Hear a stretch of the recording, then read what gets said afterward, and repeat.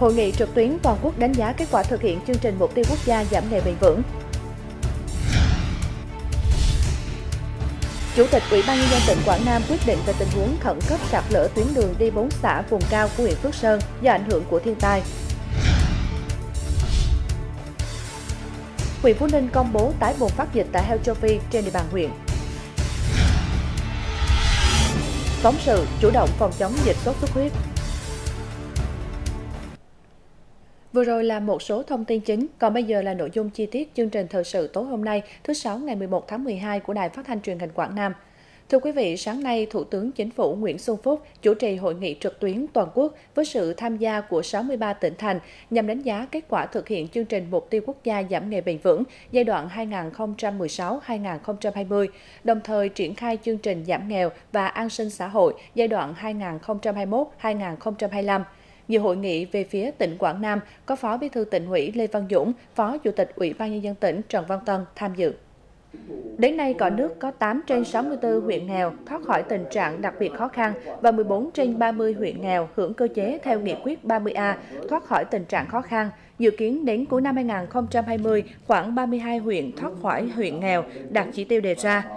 Có 95 trên 292 xã đặc biệt khó khăn, vùng bãi ngang ven biển và hải đảo thoát khỏi tình trạng khó khăn, đạt tỷ lệ 32,5%, vượt 2,5% so với chỉ tiêu. Có gần 1.300 thôn đặc biệt khó khăn, 125 xã đặc biệt khó khăn, mục tiêu chương trình 135 thoát khỏi tình trạng đặc biệt khó khăn. Chương trình mục tiêu quốc gia giảm nghèo bền vững và an sinh xã hội giai đoạn 2021-2025 tập trung vào một số nhiệm vụ trọng tâm như rà soát, ban hành các văn bản liên quan đến các chính sách giảm nghèo bền vững, an sinh xã hội giai đoạn 2021-2025 và giai đoạn tiếp, tiếp tục hoàn thiện các chính sách hỗ trợ người nghèo theo chuẩn nghèo đa chiều, trong đó tập trung vào các đối tượng trẻ em, người cao tuổi, đồng bào dân tộc thiểu số, xây dựng các chương trình mô hình giảm nghèo an sinh xã hội trong bối cảnh mới chịu tác động cực đoan của thiên tai, dịch bệnh, biến đổi khí hậu, ưu tiên nguồn lực nhà nước lồng ghép chương trình giảm nghèo, huy động nguồn lực xã hội cũng như tranh thủ sự ủng hộ của tổ chức quốc tế trong công cuộc hỗ trợ người nghèo, đầu tư hạ tầng kinh tế xã hội các vùng khó khăn, tạo điều kiện người nghèo tiếp cận các nguồn lực, tự lực vươn lên, đẩy mạnh công tác giáo dục dạy nghề, phát triển sản xuất tại các khu vực khó khăn, địa phương miền núi.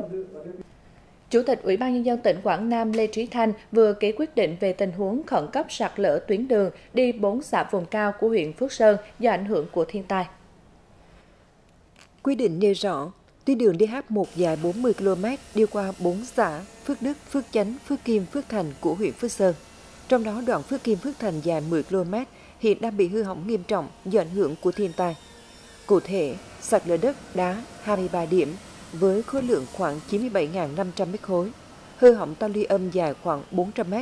hư hỏng 4 cống tròn, 5 cầu bảng, mặt đường bong tróc, rãnh dọc hư hỏng trên 90%. Sói lở hư hỏng toàn bộ nền mặt đường đoạn tuyến dài khoảng 600 m. Tuyến đường hư hỏng gây chia cắt cô lập xã Phước Thành với hơn 2.000 người bị ảnh hưởng. Tuyến đường DH2 Phước Thành Phước Lộc dài 10,21 km hiện đang bị sạt lở 30 điểm với khối lượng khoảng 70.000 mét khối. 5 cầu bản, hai cống tròn bị cuốn trôi hoàn toàn, hư hỏng toàn bộ đoạn tuyến dài khoảng 500 mét và một số cống tròn. Mặt đường, rãnh dọc hư hỏng trên 5 km, hư hỏng ta luy đường dài khoảng 1 km. Đường hư hỏng khiến hơn 1.000 người dân ở xã Phước Lộc bị chia cắt cô lập. Chủ tịch Ủy ban dân tỉnh giao Ủy ban dân huyện Phước Sơn phối hợp với các đơn vị liên quan khoanh vùng các đoạn tuyến đang sạt lở, hư hỏng và có nguy cơ sạt lở cao, thiết lập hành lang an toàn, lắp đặt biển báo khu vực sạt lở và vận động nhân dân di dời ra khỏi vùng sạt lở để đảm bảo an toàn. Sáng nay, Phó Chủ tịch Ủy ban nhân dân tỉnh Hồ Quang Bửu cùng đại diện các sở ngành của tỉnh đã có chuyến công tác kiểm tra khắc phục giao thông sau bão lũ, sạt lở đất tại các xã vùng cao Phước Thành, Phước Lộc, Phước Công, huyện Phước Sơn. Sau lũ lụt, sạt lở đất lịch sử trên địa bàn huyện Phước Sơn cuối tháng 10 năm 2020, các tuyến giao thông DH huyết mạch trên địa bàn bị vùi lấp sạt lở nghiêm trọng. Theo thống kê, riêng về giao thông trên địa bàn Phước Sơn đã thiệt hại trên 659 tỷ đồng, 33 cầu, 57 cống bị hỏng hoàn toàn, trên 2.000 mét đường bị trôi hoàn toàn. Sau nhiều ngày giao thông tê liệt, chia cắt để tạm thông tuyến, vận chuyển lương thực, nhu yếu phẩm từ trung tâm huyện vào các xã vùng cao, tỉnh đã chỉ đạo tập trung mọi nguồn lực, phương tiện giải phóng hàng ngàn mét khối đất đá. Đến thời điểm này, giao thông từ trung tâm thị trấn Khâm Đức vào các xã Phước Thành, Phước Lộc thì các phương tiện như xe mô tô, xe máy đã lưu thông tạm thời. Riêng xe cơ giới chưa thể tiếp cận vùng cao để phục vụ tái thiết sau thiên tai.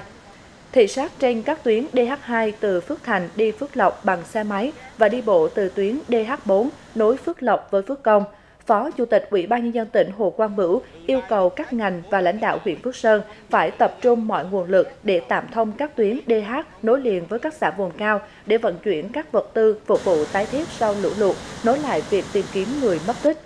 Phó Chủ tịch Ủy ban nhân dân tỉnh Hồ Quang Bửu cũng đã chỉ đạo huyện nhanh chóng tập kết lương thực về các trung tâm xã vùng cao để cấp phát cho bà con. Mỗi khẩu ít nhất 15 kg gạo một tháng và cấp phát một đợt 3 tháng để đảm bảo khỏi thiếu đói khi điều kiện thiên tai còn bất lợi. Phó Chủ tịch Ủy ban Nhân dân tỉnh Hồ Quang Bửu cũng yêu cầu lãnh đạo địa phương cùng các ngành liên quan chuẩn bị con giống, cây giống để chuyển đến bà con khôi phục sản xuất, nghiên cứu phương án bố trí tái định cư phù hợp để triển khai việc xây dựng lại nhà ở để bà con sớm ổn định cuộc sống. Trước diễn biến phức tạp của dịch tả heo châu Phi, Ủy ban nhân dân huyện Phú Ninh vừa quyết định công bố tái bùng phát dịch tả heo châu Phi trên địa bàn huyện. Theo đó, vùng có dịch là các xã Tam Phước, Tam Lãnh, Tam Vinh, vùng bị uy hiếp là Tam Đàn, Tam An, Tam Thành, Tam Lộc, Tam Dân và thị trấn Phú Thịnh, vùng đệm gồm Tam Thái, Tam Đại. Lực lượng chức năng huyện Phú Ninh đang khẩn trương thực hiện các biện pháp phòng chống khi dịch tả heo châu Phi tái phát trên địa bàn, Tất cả hoạt động mua bán, giết mổ, tiêu thụ sản phẩm thịt heo phải tuân thủ triệt để hướng dẫn số 3708 ngày 25 tháng 5 năm 2019 của Bộ Nông nghiệp và Phát triển Nông thôn. Phòng Nông nghiệp và Phát triển Nông thôn huyện yêu cầu Trung tâm Kỹ thuật Nông nghiệp huyện, Ban Nông nghiệp, Thú y các xã thị trấn tăng cường công tác nắm tình hình dịch tả heo châu Phi, kịp thời báo cáo đề xuất với chính quyền các cấp, chuẩn bị sẵn sàng nhân lực, phương tiện, vật tư để triển khai ngay công tác khoanh vùng dập dịch, tránh để lây lan diện rộng. Nằm trong chương trình của Bộ Văn hóa, Thể thao và Du lịch và Bộ Công an về việc phối hợp tổ chức các hoạt động văn hóa, văn nghệ, thể dục thể thao, thư viện trong trại giam, trại tạm giam, cơ sở giáo dục bắt buộc và trường giáo dưỡng giai đoạn 2021-2025 chiều qua Sở Văn hóa Thể thao Du lịch và trại tạm giam Quảng Nam đã ký kết ban hành kế hoạch về phối hợp tổ chức các hoạt động văn hóa văn nghệ, thể dục thể thao, thư viện trong trại tạm giam Quảng Nam giai đoạn 2021-2025. Việc triển khai kế hoạch phối hợp với mục đích tạo môi trường học tập cải tạo lành mạnh, giúp phạm nhân đang chấp hành án phạt tù tại trại tạm giam Quảng Nam yên tâm chấp hành bản án của tòa án, đã có hiệu lực pháp luật tích cực rèn luyện thể chất, nhân cách, lối sống. Theo đó, cùng với trại tạm giam Quảng Nam, Sở Văn hóa Thể thao và Du lịch sẽ phối hợp tổ chức các hoạt động tuyên truyền, cổ động trực quan, các hoạt động văn hóa văn nghệ, thể dục thể thao bằng các hình thức phù hợp với điều kiện quản lý, giam giữ, giáo dục cải tạo phạm nhân như giao lưu, biểu diễn văn hóa, nghệ thuật, viết báo tường, viết thư xin lỗi, hội thi, thi đấu giao hữu thể thao, bóng đá, bóng chuyền kế hoạch phối hợp tổ chức các hoạt động văn hóa văn nghệ thể dục thể thao thư viện trong trại tạm giam Quảng Nam giai đoạn 2021-2025 phải bảo đảm được triển khai chặt chẽ thiết thực hiệu quả phù hợp với điều kiện và tình hình thực tế của đơn vị. Sáng nay tại thị xã Điện Bàn, cụm thi đua các huyện Đồng Bằng đã tổ chức hội nghị thi đua khen thưởng trên lĩnh vực văn hóa, thể thao, du lịch và thông tin truyền thông khối thi đua Đồng Bằng năm 2020. Tại hội nghị, lãnh đạo trưởng cụm thi đua đã báo cáo tóm tắt kết quả thực hiện phong trào thi đua của khối thi đua Phòng Văn hóa và Thông tin và khối thi đua Trung tâm Văn hóa Thể thao và Truyền thanh Truyền hình cụm Đồng Bằng. Năm 2020, mặc dù bị ảnh hưởng do dịch bệnh COVID-19 cũng như ảnh hưởng bởi thiên tai kéo dài, tuy nhiên ngành văn hóa, thể thao, du lịch và thông tin truyền thông, cụm các huyện, thị xã, thành phố, cụm đồng bằng đã triển khai đầy đủ và thực hiện nghiêm túc các văn bản chỉ đạo của các ngành cấp trên đạt kết quả tốt trong hầu hết các lĩnh vực phụ trách,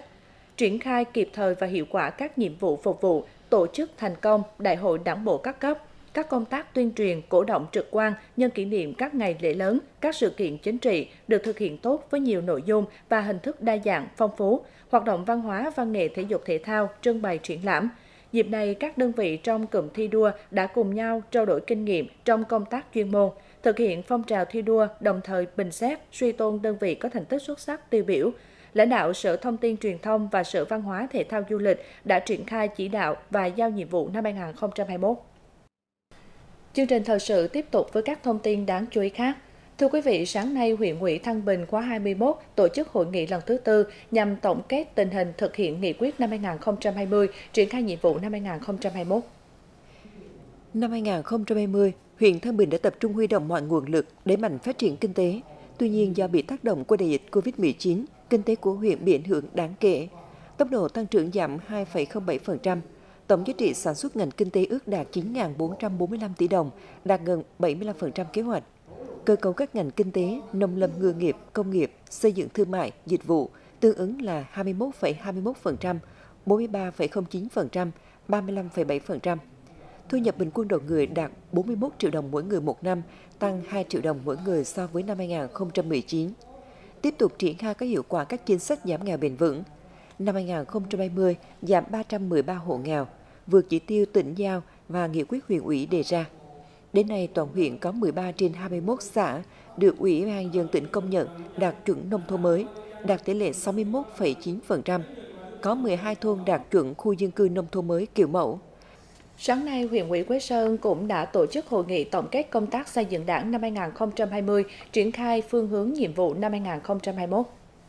Cùng với việc tập trung lãnh đạo chỉ đạo thực hiện tốt các nhiệm vụ về phát triển kinh tế xã hội, đảm bảo an ninh quốc phòng, huyện ủy Quế Sơn đã lãnh đạo chỉ đạo thực hiện hiệu quả công tác xây dựng đảng, tập trung lãnh đạo chỉ đạo, hướng dẫn tổ chức Đại hội các chi đảng bộ trực thuộc huyện ủy và tổ chức thành công Đại hội đại biểu đảng bộ huyện lần thứ 25, nhiệm kỳ 2020-2025. Năm 2020, Đảng bộ huyện Quế Sơn kết nạp được 49 đảng viên mới, nâng tổng số đảng viên toàn đảng bộ lên 3.635 đồng chí, tổ chức cấp huy hiệu đảng các đợt cho 130 đồng chí. Công tác kiểm tra, giám sát thi hành kỷ luật đảng được thực hiện đảm bảo đúng quy định điều lệ đảng. Công tác dân vận, văn phòng thực hiện đạt kết quả tốt. Năm 2020, Đảng bộ huyện có 9 tổ chức cơ sở đảng hoàn thành xuất sắc nhiệm vụ, 37 tổ chức cơ sở đảng hoàn thành tốt nhiệm vụ, 10 tổ chức cơ sở đảng hoàn thành nhiệm vụ. Sáng nay, Ủy ban Mặt trận Tổ quốc Việt Nam huyện Núi Thành tổ chức diễn đàn Công an huyện Núi Thành lắng nghe ý kiến nhân dân. Tại diễn đàn, 170 đại biểu ở năm xã cánh Bắc của huyện nghe lãnh đạo Công an huyện Núi Thành báo cáo kết quả hoạt động năm 2020. Tiếp đó, các đại biểu phát biểu đánh giá cao thành quả đạt được của cán bộ chiến sĩ Công an huyện Núi Thành trong công tác đảm bảo an ninh chính trị, trật tự an toàn xã hội, nhất là việc đưa công an chính quy về xã, góp phần tích cực giữ gìn an ninh trật tự tại địa bàn cơ sở. Tuy nhiên, các ý kiến cũng chỉ ra những tồn tại hạn chế như vẫn còn xảy ra tình trạng lấn chiếm hành lang an toàn giao thông, thanh thiếu niên chạy xe, phóng nhanh vượt ẩu, tệ nạn cờ bạc, số đề, dùng xung điện, thuốc nổ đánh cá, vấn đề ô nhiễm môi trường, tình trạng đốt pháo nổ, dùng súng tự chế săn bắn, chưa được ngăn chặn triệt để. Lãnh đạo Công an huyện đã tiếp thu các ý kiến tham gia của đại biểu và giải trình một số vấn đề được nêu ra tại diễn đàn – một tàu cá của ngư dân tỉnh Bình Định bị vỡ be tàu có nguy cơ bị chìm vừa được đồn biên phòng Cù Lao Chàm Hội An cứu nạn, 12 lao động trên tàu an toàn. Lúc 4 giờ 20 phút ngày 11 tháng 12 năm 2020, tàu BD94757TS công suất 550 CV do ông Nguyễn Văn Bi, sinh năm 1981, trú xã Mỹ Đức, huyện Phù Mỹ, tỉnh Bình Định, làm thuyền trưởng. Trên tàu có 12 lao động hành nghề lưới vay, khi đang đánh bắt thì va vào hòn mồ, cù lao tràm gây vỡ be mũi tàu, nước tràn vào có nguy cơ bị chìm. Nhận được tin báo, đồn biên phòng Cù Lao Chàm điều động cano cùng 12 cán bộ chiến sĩ tiếp cận tàu bị nạn, cùng ngư dân bơm nước và hướng dẫn tàu bị nạn chạy vào khu vực bãi bìm Cù Lao Chàm. Trên tàu lúc bấy giờ chứa khoảng 3.500 lít dầu đeo. Hiện đồn biên phòng đang làm rõ thông tin tàu bị nạn, tăng cường quan sát, phát hiện dầu loang, sẵn sàng ứng phó sự cố tràn dầu. Thưa quý vị và các bạn, so với cùng kỳ năm ngoái, sốt xuất huyết trên toàn tỉnh giảm gần 60% số ca bệnh. Tuy nhiên, đây mới chỉ là giai đoạn đầu mùa dịch. Hiện tình hình thời tiết vẫn còn diễn biến thất thường, mưa lạnh kéo dài nên dịch bệnh có thể bùng phát bất cứ lúc nào. Vì vậy, các ngành chức năng đang nỗ lực kiểm soát và khuyến cáo người dân cần đề phòng và chủ động ứng phó. Thành phố Tam Kỳ hiện ghi nhận số ca mắc sốt xuất huyết tăng với nhiều ổ dịch nhỏ. Từ đầu năm đến nay, Tam Kỳ có 151 ca, Riêng tháng 11 có đến 52 ca mắc sốt xuất huyết. Tại Bệnh viện Đa khoa tỉnh, bệnh nhân điều trị sốt xuất huyết vẫn chiếm số lượng lớn, số ca mắc vẫn tăng so với ngày thường. Cái này chắc do mũi đốt thôi. Các bạn thì có triệu chứng bị đau đầu, sốt, nhức mỏi tay chân. Là đi ờ, khám được ừ, tư vấn nhập viện thì à, sau khi xét nghiệm đầy đủ hết thì nó là bị xuất huyết Trung tâm Kiểm soát Bệnh tật tỉnh CDC Quảng Nam thông tin, số ca mắc sốt xuất huyết thời điểm này năm nay trên toàn tỉnh giảm gần 60% so với cùng kỳ năm ngoái. Năm 2019, Quảng Nam ghi nhận có đến 6.000 ca mắc với 190 ổ dịch tại các địa phương. So với năm ngoái thì số người mắc bệnh đã giảm rất nhiều. Tuy nhiên, diễn biến của dịch sốt xuất huyết vẫn còn rất phức tạp. Trong 2-3 năm gần đây,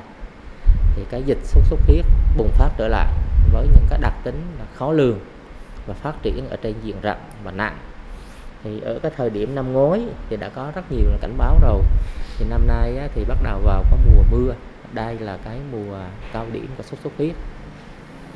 Thì tại khoa thì cũng có rất nhiều bệnh nhân sốt xuất huyết. À, số lượng thì tăng đột biến tăng về số lượng và cả về các cái thể nặng nữa thì về cái chỉ đạo thì ban giám đốc ờ, đã có cái phương án à, phối hợp để đề ra cái phương án phòng chống dịch à, ngay từ khi đầu năm rồi. Tất cả hiện tại tất cả chúng tôi thực hiện theo các phương án đã đề ra. Để chủ động ứng phó với dịch bệnh sốt xuất huyết đang vào mùa, Trung tâm Kiểm soát Bệnh tật tỉnh Quảng Nam đã thành lập các đoàn thanh tra để trực tiếp đi kiểm tra, giám sát về công tác phòng chống dịch bệnh tại các địa phương ngành y tế đã chỉ đạo các đơn vị chức năng và địa phương theo dõi, giám sát thường xuyên, phát hiện sớm diễn biến tình hình dịch bệnh sốt xuất huyết để có biện pháp xử lý kịp thời, đồng thời chuẩn bị đủ số cơ thuốc, vật tư y tế, trang thiết bị cho các địa phương để sẵn sàng ứng phó với dịch bệnh. Quý vị và các bạn vừa theo dõi chương trình thời sự tối nay của Đài Phát thanh Truyền hình Quảng Nam. Bây giờ mời quý vị và các bạn cùng theo dõi bản tin dự báo thời tiết, bản tin do Đài khí tượng thủy văn Quảng Nam cung cấp. Thân ái kính chào tạm biệt quý vị và các bạn.